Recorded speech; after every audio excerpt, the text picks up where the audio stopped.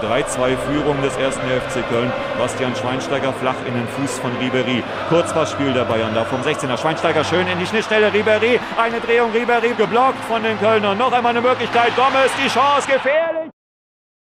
Tor! Gomez und sein Torriecher!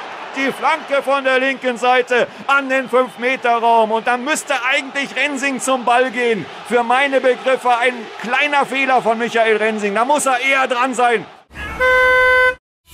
Scheiße! Ja, Mann!